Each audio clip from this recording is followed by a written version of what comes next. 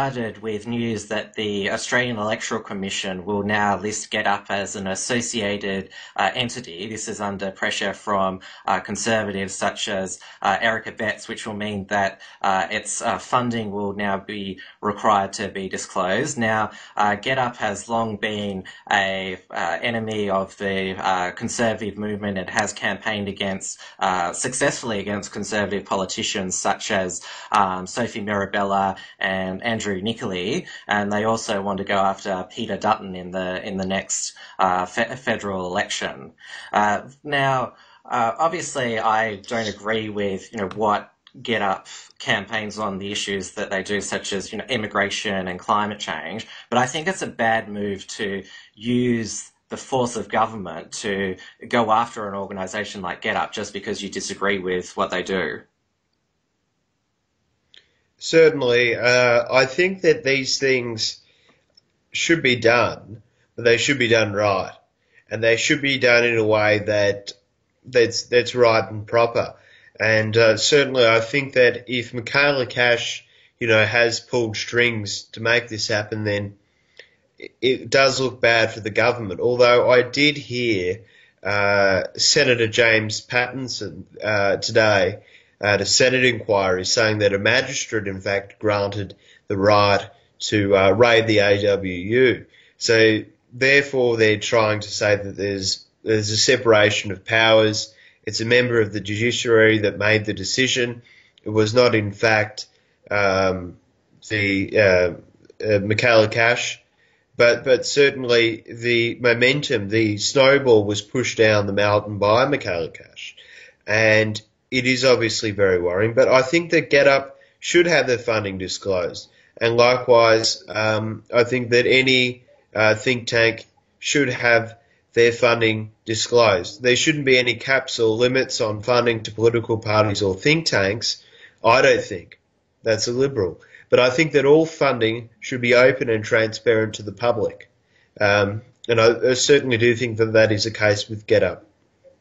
Uh, I, I have to disagree with uh, you, you on this because um, you know, I wouldn't want uh, the Labor Party to go uh, after organisations such as the Institute of Public Public Affairs, which I know that uh, former uh, Labor MP Kelvin Thomson he wanted the the IPA's uh, donors disclosed, and the the IPA has long resisted uh, such a move, and this is why I was surprised with what you mentioned.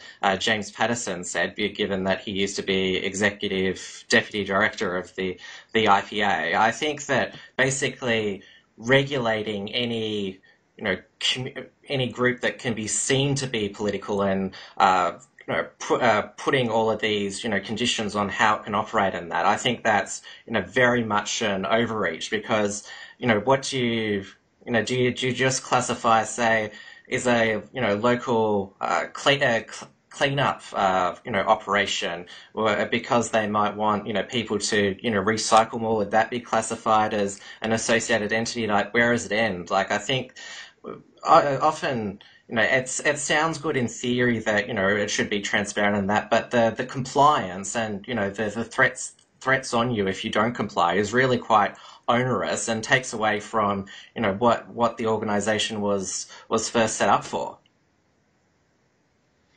I, do see the logic in that. It, it goes with the firearms debate as well that we spend so much money on regulating and, and telling hunters, you know, how to keep their firearms and whatever, and we don't actually end up fighting uh, the illegal arms and drugs that come into the country. Now, that does bear some logic because we could be looking at uh, GetUp or uh, the IPA really firmly, but then we might spend all our money and resources on that, and then we we might not be looking into kind of uh, union corruption or whatever. That might go to the wayside if our resources are, are spent all in the one location. But certainly, I, I do think that.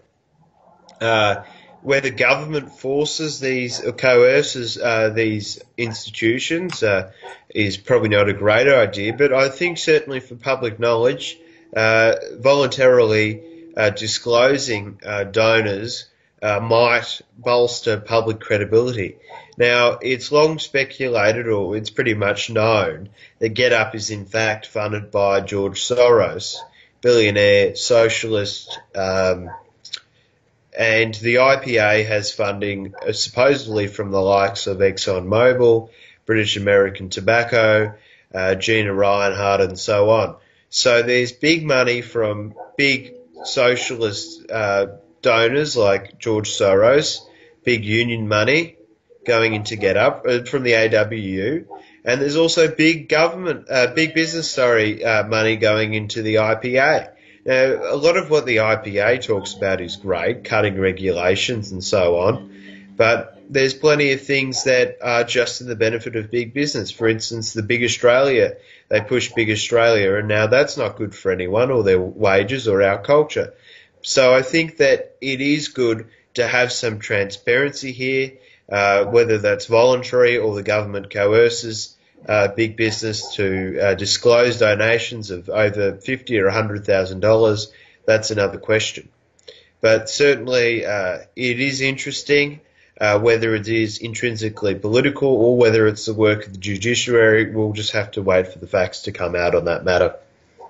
I think if that people on the right don't like GetUp and its influence, they just need to get better at grassroots campaigning. I mean, stop complaining and you know try and beat GetUp, you know, on the ground and in the battle of ideas. I mean, that that's the correct way to way to do this, and it's sadly where the right has been lacking in recent years. I mean, you look at the you know, if you just go to um, on election day, there's uh, there's not just uh, you know left wing political parties there. There's the unions there handing out. There's they've got heaps of tro- troops on the ground. Uh, they're you know they're they're always you know launching uh, campaigns. They're very savvy on uh, social media with rallies and that. I mean the the right has hasn't done that very well. They they did do it well on one occasion. For example, when the carbon tax was brought in, there was a really good grassroots campaign on the right too, which successfully defeated the carbon tax and was just a sign that you know when the right you know got its act together with uh, activism, it could really achieve something. So I think that GetUp's you know a, a success. It's just a wake up call that we need to be better. Uh, or, or, as Michelle Obama says, be better, be better. And, you know, I completely agree with you, Tim. We definitely need to get our act together.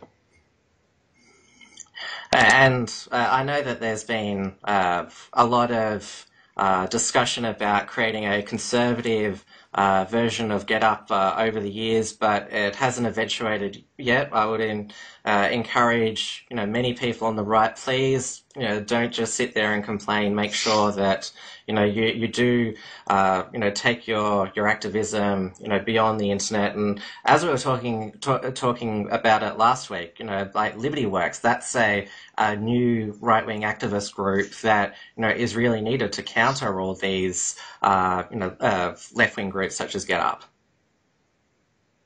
Well, the problem is, Tim, here essentially in a nutshell, is that people on the right have jobs and they're not on Centrelink and they don't have heaps of time on their hands. And that's why we might be seen on the right as, you know, less politically conscious uh, because, you know, we focus on the day to day. We're focused on being pragmatic, going to work, focusing on our family, and we don't essentially have as much time to uh, talk about nihilistic, neo-feminist, uh, uh, Marxist claptrap. Uh, we, are more focused on the day-to-day, the pragmatic, uh, and getting things done. Uh, so that that's where I think that it might fall into a heap. But certainly, I do think that there is a, a grassroots of, of university young people who have a little bit more time on their hands. I've seen this at Friedman. There were plenty of younger people there plenty of people who have the, the passion to uh, for the activist cause of smaller government. Uh, and as Ronald Reagan once famously said, as, as the size of a government uh, expands, liberty contracts. And I think that we all need to remember that through our uh, push for liberty, push for freedom, and uh, fight against the big state. This has been an Unshackled Fast. Please like, comment, and subscribe.